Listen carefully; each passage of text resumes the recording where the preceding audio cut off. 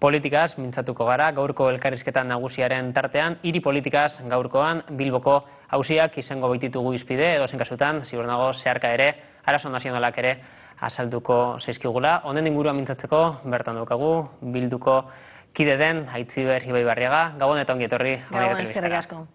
Bada, nolabait, e, ba, formazioan, edo udalean, udal batzan sartu zinenetik, hainbat frente, ireki zitzaizkizuen, eta, bueno, honen inguruan, e, azken egunotan, ezagutu dugun, berri baten inguruan galdegin nahiko dizuko lehenik eta behin, izan ere, e, ba, atera da medioetan, azken egunotan, nola, e, Bilboko udalak, badaukan plangintzaren barnean, sarrikoko hausune hortan, e, zorro zaurreko plan horren barnean, zentral termiko bat abian jartzea, ez dakit, zer den proposamenak bere baitan hartzen duena, zenbateraino, noiz izango litzateken esekutagarri. Bueno, guk eh, honen inguruan e, lehen biziko horrela berri nagusiak urtarrian izan genituen, prentzan atera zelako gai hau, ez? E, zan beharra dago, zorrozaurreko plangintzaren baitan, e, udaletzeak planteatzen duela district hitin bat egin behar dela, ez? Eta ba, jende asko orain arte ez dugu jakin zer zen district hitin, hau, azkenean badira nazioarte mailan erabiltzen diren terminologia horiek, ez? Eta bueno, planari alegazioak egiteko epea ireki zitzaionean, bi alegazio e, berezi egon ziren, ez? Bat, ekologistak martzanek e, plazaratutakoa eta bestea Euskal Herriko Unibertsitatearena. Eta beraiek planteatzen zutena zen, ba, bueno, distrikitin horren izaera, e, ez, e, zer zen, zehazki. Eta, ba, bueno, horren inguruan gero gu galderak egiten ibili gara, eudaletzeko arduradunei, bilkura bat egin genuen baita ere zorrozaurreko plangintza garatzeko arduratzen den gestorarekin eta ebeko arduradunekin, ebe ente basko energia ez, eta bueno, ba, bilera hoien ostean, e, guretzako bi elementu agertu dira, ageratu dira agerian ez.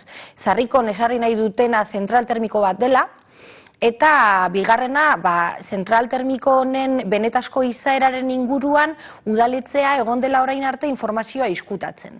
Hmm. Gu ibili garelako behin eta berriz galdetzen galdetzen eta ez ziguten informazio hori eman nahi, ez? Orduan, bueno, bi elementu horiek. Zentral termikoa, printzipioz, e, bueno, esaguna e, iadokitzen digun kontzeptua da, edo zen kasutan, agian matizatu beharko ganduke. Zer da zentral nuklearra, zintzuk dira bere berizgarririk mm. nagusienak? Bai, ba, bueno, e, azaldu behar duguna da, zentral termiko hau, e, aurre ikusten dela, zorrozaurren eraikiko diren etxe bizitzei zerbitzu emateko, ez? Orduan, zentral termiko honek egiten duena da gaza erre, eta gaza horren ondorioz, alde batetik, berogaiuaren zerbitzua eskaintzen da, eta urberoa baita ere. Zer gertatzen da, zentral termiko hauek momentu honetan daudela e, inguru giroarekiko kaltegarriak izan daitezken e, aktivitateen zerrenda batean txertatuak.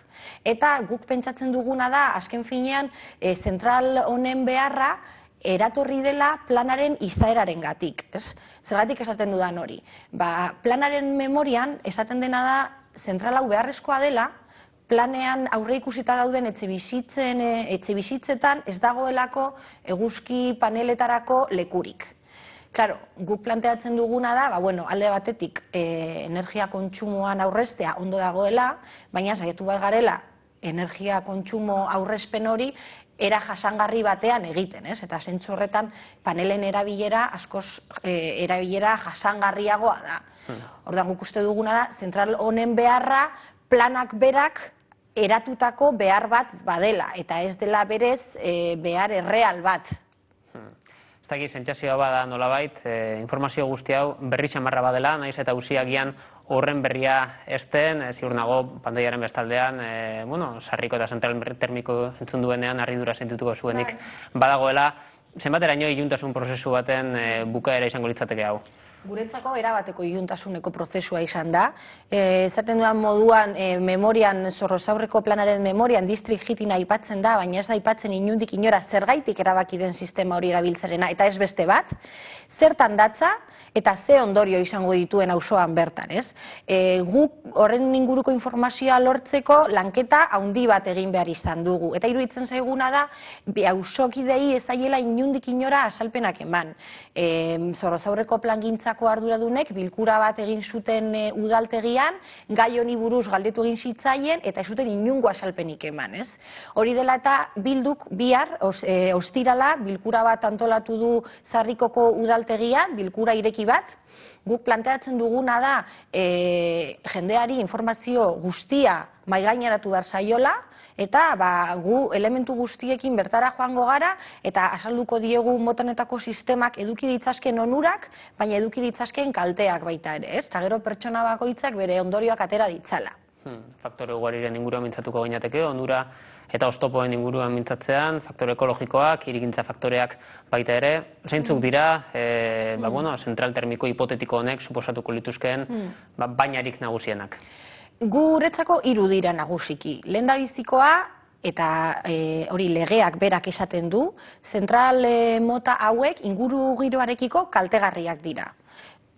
Kaltegarritasun maila hori e, lau maila ezberdinetan neurtzen da. A eta D mailen artekoa. A izanik mailarik kaltegarriena eta D bajuena, ez? Bilbo, ezarriko nesarri nahi den e, zentral hori B mailakoa da. Hau da, lau mailetatik bigarrena. Orduan, e, kaltegarria da inguru giroarekiko.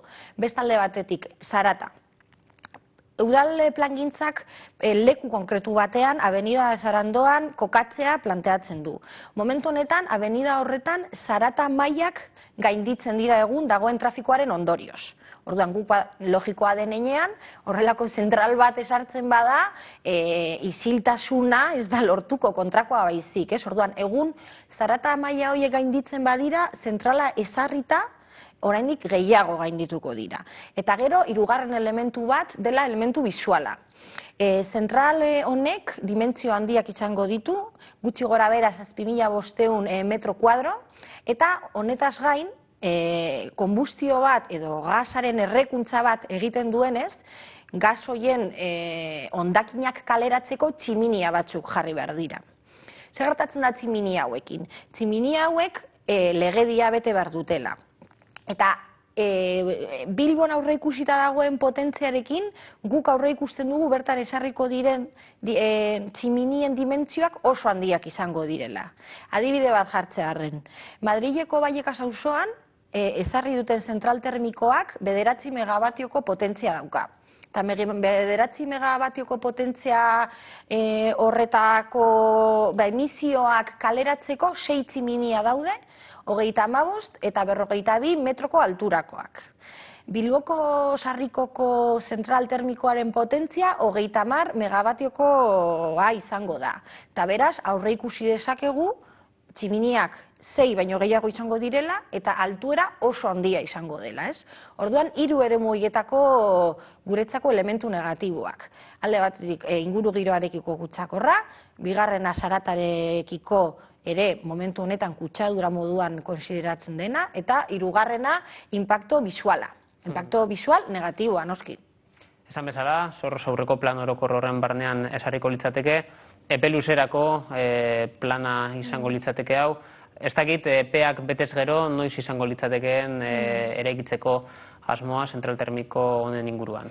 Bueno, e, badakigu zorroz aurreko plangintzako garapena lusatzen ari dela, arrazoi ezberdinen gatik, alde batetik e, krisiak berak ez, baldintzatzen du, baina baita ere e, sortu diren arazo berriak, terreno ezberdinen e, kutsako hortasun maila espero zena baina handiagoa da, orduan epetan lusatzen ari da, ez?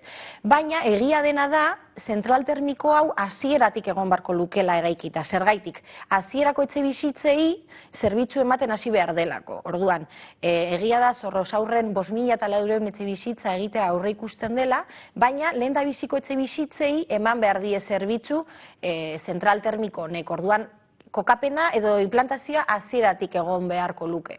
Hmm. Testakit, e, zorroz aurreko plan honen inguruan ari garela, nolako iritzea dauka, mm. e, zorroz aurreko auzo hortan egingo diren e, ekimen guzti honen inguruan bilduko talde parlamentarioak. Bai, bueno, guk e, zentzu horretan, hasieratik e, planteatu duguna eremu horretan, izan da, nik uste dut, bueno, guk, edo guk uste dugu ez, inork ez dela zalantzan jartzen, zorrozaurreko eremu horretan, birgaitzelan bat, ez edo eraberritzelan bat, goitik bera beharrezkoa denik. Baina birgaitzelan hori nola egiten den oso garrantzitsua da. Guri iruditzen zaiguna da, e, azkenean, e, zorrozaurrerako eginda, e, bueno, egindako plangintza ez, apur bat Bilbon bizi izan dugun irigintza eraikuntza masibo horren jarraipen bat badela. Eta urteekin ikusi izan dugu e, irigintza eraikuntza masibo hau izan dela apur bat besteak beste krisi ontara eraman gaituenak. Guk zorzorrako beti planteatu izan dugu, e, bertan zeuden pertsonen interesak e, bertan isladatu behar zirela, ikusten genuen 5.000 eta laureun etxe bizitza gehiagizko kopurua dela, batez ere azkenengo egunetan ikusi dugunean Bilbon 16.000 etxe bizitza utz ditugula, ez? Ordan zertarako eraiki horren beste eta guk hasieratik planteatu duguna izan da etxe bizitza gutxiago eraiki eta alokairuzkoak izatearena, e, babestutako alokairuzkoak izatearena. Eta beste, besteak beste, eh? baina bueno, e, egia da, zorroz aurrekoa, ba, bueno, urteetan lusatuko dela, eta dirudienez, ba, erabateko, erabat bukatuta egon arte, hogeita mar urte inguru pasatu beharko diela. Hmm. Guztion inguruan hitz egiteko, zuen aurkakotasuna adierazteko eguna, esan duzu izango dela, urrengo aste artea. Hmm. Guk egingo duguna izango da alde batetik asanblada ireki hori plazaratu bizilagunekin, eta gero, beste alde batetik mozio bat aurkeztuko dugu udal batzan, datorren e, hilabeteko udal batzan, planteatuko duguna izango da, e, mota honetako, edo e, inguru giroarekiko eta apur bat e, kaltegarria izan daiteken injungo instalaziorik ez esartzearena, ez baldin badago alternatiba txosten era, e, osatu bat, ez? Guk momentu honetan faltan botatzen duguna da alternatiba txosten bat non benetan asaltzen zaigun sistema hau dela seguroena eta eraginkorren aldi berean. Eta hori da apur bat udalbatzan eskatuko duguna. Eta udalbatzan eskatuko duzuen beste ba, eskakizun horien artean ere esarriko litzateke beste bat, e, gizarte gaiekin ere mm. erlazioa daukana, hain zuzen ere, lan erreformaren aplikazioaren gaineko eskakizun bat egingo mm. diozue udalari, hain zuzen ere, Madrietik esarri den dekretu gordako neurriak aplika ez daitezen, mm noiz izango da hori, zer da zehazki mm. e, Iñaki Askunaren gobernu horri eskatuko diozuena. Bai, bueno, guk, e, nik uste dut Euskal Herriko gizartearen gehiengoak esala, e, lan erreforma neurri inposatzaile baten moduan eta langileen eskubideen kontra doan neurri baten moduan e, definitzen dugu, ez? Zentzu horretan, e, iruditzen zaigu, ba, bueno, e, udaletzeak badaukatela zer esana baita ere, eta ba, udaletzeak baditu eskumen batzuk le, la, lege, e, lan erreforma horren aplikazioari dagokionez, ez? E, zehazki lau ere mutan dauka Bilboko udalak e, ba, margen hori ez, alde batetik e, langileen soldaten e, kongelazioan, beste alde batetik ordezkapenak e, betetzerakoan edo ez, e, gero jubilatzen den jendearen lanpostu horiek betetzeari begira edo ez, ez lege reformak planteatzen duelako ez betetzea, eta laugarrena da lan eskaintza publikoa egiten jarraitzarena. Guk udal batzan eskatuko duguna izango da alde batetik udalak lan erreformaren aurkako posizioa e, markatzearena, eta bigarrena berak gaitasuna daukan ere muetan lan erreforma hori ez aplikatzea. Hmm. Zentzuetan da egit, e, udalak, udaleko gobernu horrek daukan ba, predisposizioaren inguruko aurrikuspenik badaukazuen. Bueno, e, guk logika politiko batetik, eta Madrilen kertatu dena ikusita, non e, PNVek eta alderdi sozialistak erreformaren aurka oskatu duten, guk ulertuko genuke Bilbon ere e, lan erreformaren aurkako posizioa markatzea eta gure mozioa babestea. Gero gertatuko dena gira esan da, ez, ez gaude oso zion, ez? Baina gu, desde luego, pentsatzen dugu logika politiko baten baitan jarrera hori eduki barko luketela, guk bestelaz genuke ulertuko, eta uste dut e, Bilboko gizarteak ez lukela eta Bilboko langileriak ez lukela ulertuko ez da ere. Hmm, lan erreformaren arira, martxoako goita bederatzean, gere borokorra mm. deitu dute, bai sindikatu abertzalek, baita gainontzeko sindikatuak ere, mm. eta printzipioz bilbuko, bilduko e, taldeak, bilboko ordezkariek bere atxikimendua dirazi diote gerbari. Bai, bueno, nik uste dute e, azken denboraldi honetan, ez, eta lan erreforma azken adibidea daukagu, langileen eskubideon aurkako e, eraso moduan identifikatzen dugu guk lan erreforma hori, ez? Hainbat erasotak, hainbat erasotako azkena, eta guretzako la, greba eguna erantzuteko eta apur bat erasorren aurkako erantzun bat plazaratzeko eguna da. Eta iruditzen zaiguna da, egun horretan bakoitzak bere posizioa markatu behar duela edo norekin dagoen egoera honetan, edo langileekin eta langileen eskubiden defentsan, edo krisi hau sortu duten enpresari eta enpresen alde, ez? Orduan, hor bakoitzak markatuko du zein den bere posizioa eta zein aldetan dagoen kokatuta. Gurea argi dago, gu langileak gara baita ere, eta gu langileen eskubien aldeko aldean kokatuko gara dudari gabe. Hmm. Bueno, luzen mintza egin tezke baita ere, gai honen inguruan, edo kasutan denbora agortzar daukagu, eta beste pare bat itaun egin nahiko dizkizuke, hauek mm. orokorragoak, izan ere, bai. hauteskundeak burutu zirenetik, jadanik, mm. ba, urte bete betetzear badago, e, bueno, bilduko ordezkariek, bilboko udalean egindako urratzen gaineko evoluzioa, nolakoa dela nabarmenduko genuke, zein da lehen hilabete hauen gaineko e, balantzea. Bueno, nik uste dut, e, suposatzu letxe guztietan, ez? Baina guri dago kigunez, lan handiko hilabeteak izan dira, ez? E, guk nabaritu duguna da, ba, bueno, jendeak bai ikusi duela udalbatza honetan en diskurtso berri badagoela, dela eskerreko eta independentista den diskurtso bat, urteak eta urteak eman direla udalbatza horretan diskurtso hori entzun gabe, Eta, eta kasu askotan, e, gure diskurtsoa gainera, diskurtsorik argiena izan dela udalbatzan, eta guk zentzu horretan ez daukagu inungo zalantzarik, ez? Eta askotan esan, esan digute e, gure diskurtsoa minoritarioa zela eta horrelako gauzak, ez? Baina guretzako amari jabeta hauetan, bi hiru adibide oso nabarmenak egon dira, e, alde batetik kukutsaren diskurtsoarekin zein izan zen gure posizioa argia, bigarrenik konbertzio irekierarekin eta hirugarrena inauterietako aferarekin. Bilduren diskurtsoa benetan oposizioko diskurtsoa da, eta ez daukagu zalantzarik, orain arte udalbatzan egonez den diskurtsoa.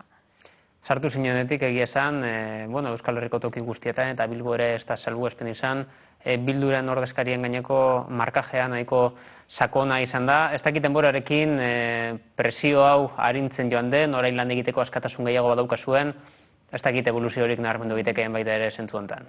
Bueno, guk eh, hasiera hasieratik nabaritu genuena izan zen jendearen babesa eta horrela izan zen bilduren iritziera udaletzera, ez, indartzu eta ilusioz eta eta proiektuz betetako mm, e, e, proiektu batekin iritzi ginen gu udaletzera, ez? Eta guk bai ikusi dugula urduritasuna, baina nik uste dut urduritasun hori dela, ba beraien e, postuak orain arteko postu horiek arriskuan ikusten dituztelako, ez? Bildu indartzu sartu da bere proiektu politikoak badauka eragiteko eremua Euskal Herrian, eta nik zentzurretan urduritasuna hortiko katuko nuke. Boz, ondo itzider, bertan utziko dugu, denbora agortu baitzaigu. Eskerrik asko, bertara ditu izanagatik, bilboren autotasunaren gaineko hausnarketa guzti plazaratzagatik, eta hurrengo arte. Hurrengo arte.